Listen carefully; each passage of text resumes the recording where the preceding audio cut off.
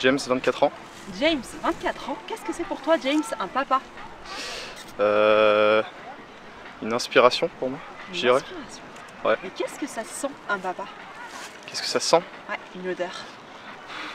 Euh, une odeur, euh, je sais pas. Euh, je dirais son parfum, c'est un Hugo Boss classique quoi. Il, met tout le temps, le temps le même donc voilà. D'accord, ça marche. Bah, merci beaucoup, James.